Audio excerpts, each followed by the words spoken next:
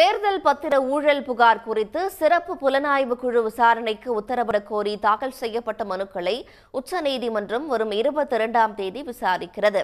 பாஜக அரசின் தேர்தல் பத்திர திட்டத்தை அரசியலமைப்பு சட்டத்துக்கு எதிரானது என்று கூறி உச்சநீதிமன்றத்தின் ஐந்து நீதிபதிகள் அமர்வு கடந்த பிப்ரவரி பதினைந்தாம் தேதி ரத்து செய்து தீர்ப்பளித்தது.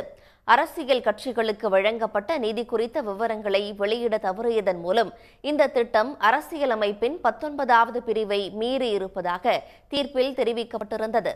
நிறுவனங்கள் சட்டம் வருமான வரி சட்டம் மக்கள் பிரதிநிதித்துவ சட்டங்களில் தேர்தல் பத்திரம் தொடர்பான விதிகளை செல்லாது என்று அறிவித்த உச்சநீதிமன்றம் தேர்தல் பத்திரங்கள் வழங்குவதை நிறுத்தவும் ஸ்டேட் வங்கிக்கு உத்தரவிட்டது.